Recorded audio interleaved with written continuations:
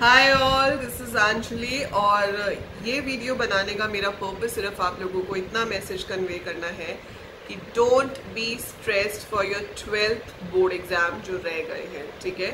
सो so, अभी आज हमें पता चलना था कि फाइनली एग्ज़ाम कैंसिल हो रहा है या नहीं पोस्टपोन हो रहा है या क्या हो रहा है whatever is the final word जो आज एच मिनिस्ट्री ने बताना था बट वो उन्होंने कहा है कि वो कल डायरेक्टली सुप्रीम कोर्ट में बताएँगे और उसके बाद पब्लिकली वो चीज़ अनाउंस होगी।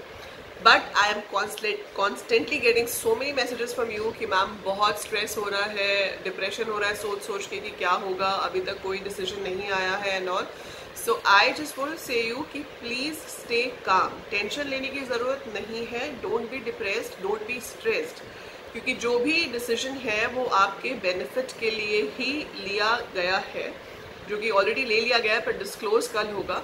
एंड वो अभी ऑफिशियली किसी को नहीं पता है.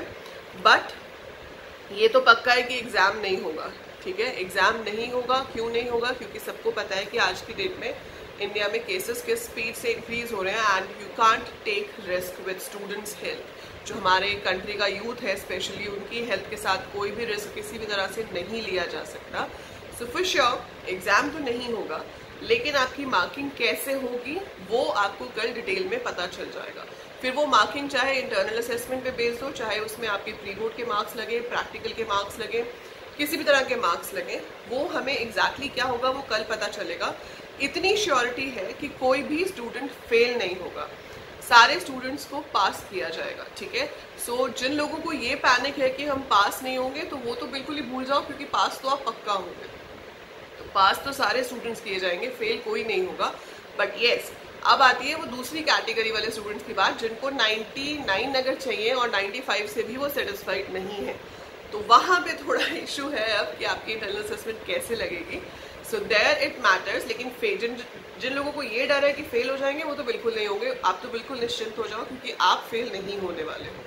बाकी परसेंटेज चाहिए, अब मुझे 95 नहीं, मुझे 99 ही चाहिए तो उसका तो कुछ नहीं कर पाएँगे हम, क्योंकि इंटरनल असेसमेंट होगी, जिस मर्ज़ी बेसिस पे लगे।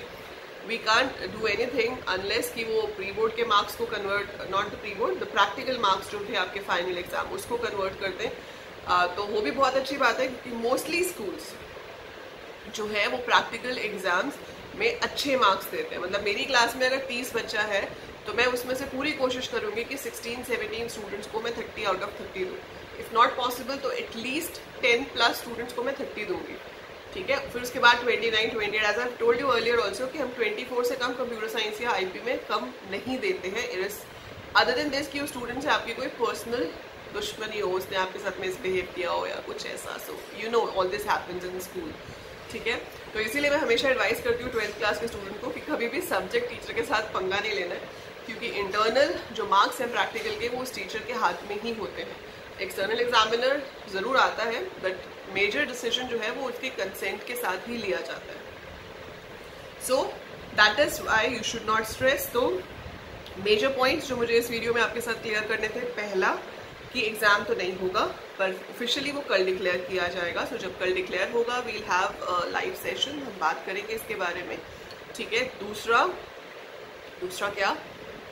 कि जो फेल होने के डर से डर रहे हैं वो तो बिल्कुल भी ना डरें क्योंकि फेल आप बिल्कुल भी नहीं होंगे you will definitely pass the exam that is the basic thing and तीसरी चीज़ जो सिर्फ़ रह जाती है देखने के लिए वो ये है कि इंटरनल असेसमेंट का क्या क्राइटेरिया होगा किस बेसिस पे मार्क्स लगाए जाएँगे क्या मॉडरेट किया जाएगा. So that is what I am waiting for so अगर आप मुझसे बाबा पूछ रहे हो आप वेट कर रहे हो आपका ओपिनियन क्या है? सो so, एग्ज़ाम नहीं है. मैं सिर्फ़ वेट कर रही हूँ इस चीज़ के लिए कि जो मार्किंग है वो किस बेसिस पे होगी. तो वो जानने के लिए I am waiting for the verdict let's see what comes tomorrow और जहाँ तक एंट्रेंस एग्ज़ाम की बात है तो अभी तक तो यही है कि वो पोस्टपोन होंगे। कितना पोस्टपोन होंगे, क्या होगा let's wait for that for tomorrow ठीक है?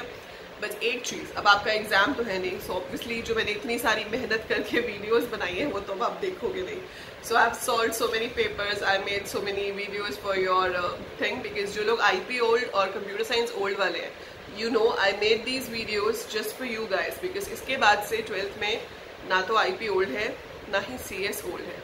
तो जितने भी अपलोड्स या जितनी भी रिविजन आई पी ओल्ड या सी एस ओल्ड के लिए की गई, वो सिर्फ़ आप लोगों के लिए की गई जो आप अभी करंट सब्सक्राइबर्स हो for class twelfth I P old and C S old इसके बाद उसे कोई नहीं देखने वाला, क्योंकि इसके बाद ये सब्जेक्ट ही नहीं है। सब्जेक्ट ही खत्म हो जाएगा।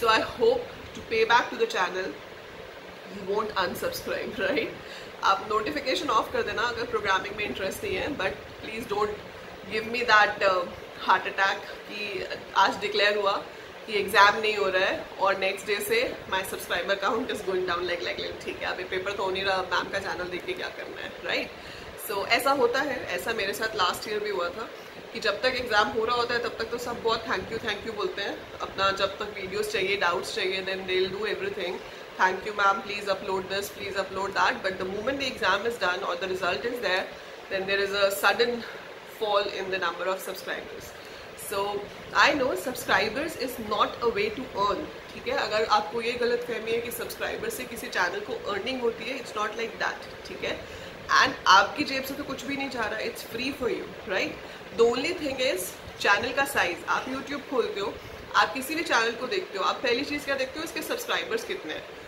अच्छा इसके 500 सब्सक्राइबर है मतलब ऐसे साइड चैनल है। ओके इसके 30,000 सब्सक्राइबर्स हैं या इसके 300 के सब्सक्राइबर्स हैं?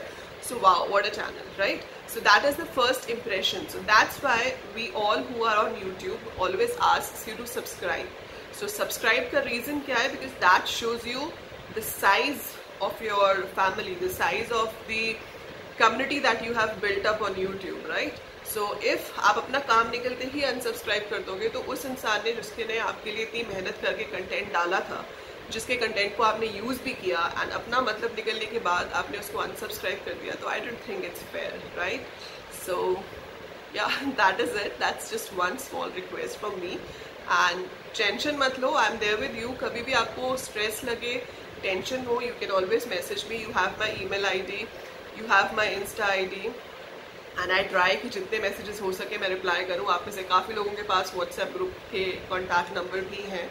So and I come live most more often तो मैं यूजली एक या दो दिन बाद लाइव आती ही हूँ, ताकि अगर आपको कोई भी तरह का डाउट है, कुछ भी है so you can always discuss that with me ठीक है?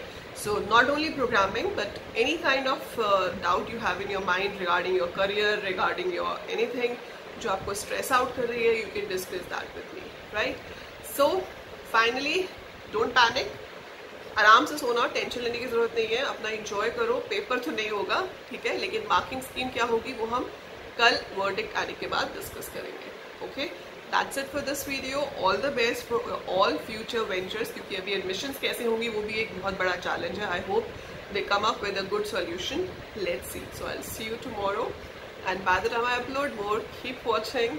Keep learning.